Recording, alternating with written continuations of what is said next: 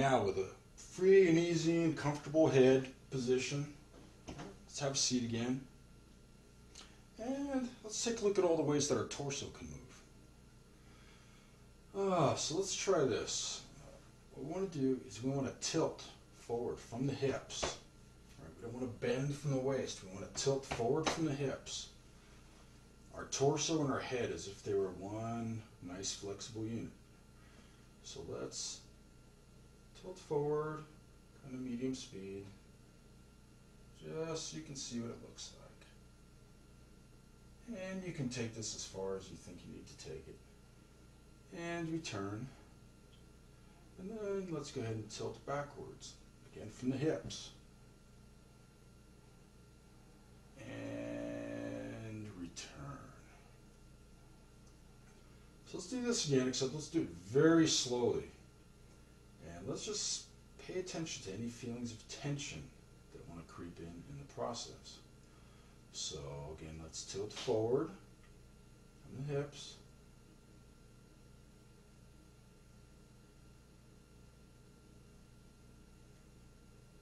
Now, if you're like me, you're really feeling it in the lower back. You'll start to feel a lot of tension in your neck and radiating into your upper back, your shoulders, even down into your arms. Right? Again, this is just gravity wanting to pull us down and all our muscles compensating to try and hold us up. So let's return. And just notice how all those feelings of tension just gently dissipate. All right. Let's try the same thing backward. Slowly. If you're like me, you're feeling it a bit in your abs.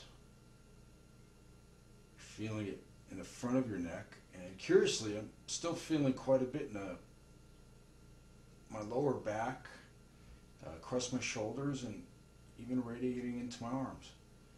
Let's return. Notice how all those feelings of tension just tend to disappear. So let's try this again. Let's just kind of do it medium speed. Let's tilt forward and backward. Forward and backward. And just kind of notice a place in between those where it feels nice and free and comfortable balanced. Right? That's where we want to be. That's the feeling we want to cultivate. Great, so let's take a look at another motion. Right? Let's lean to one side or the other. So again, we want to try and do this from the hips. We don't want to just bend at the waist. Right? We want to do this tilting or leaning if you prefer from the hips. Right? So let's try that. One side, of medium speed. turn, other side, medium speed, and return. I'd like to try and experiment with you. Try this time just bending at the waist and see what that feels like. So imagine that your butt is welded to the bench, okay? So this can't move. We're just going to try and bend about our waist and just compare how that feels.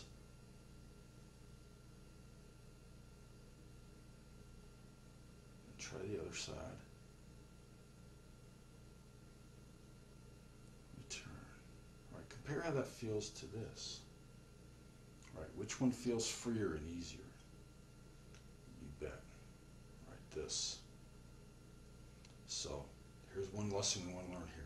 Right, one way to free your torso up is to make sure that you're not welded to the bench you're sitting. Right, it's okay to kind of rock on your sits bones. This applies to the side-to-side motion. It also applies right, rocking front and back. Let's take a look at one last motion. Let's rotate our torso. And actually our torso and head as one unit. Let's rotate in one direction.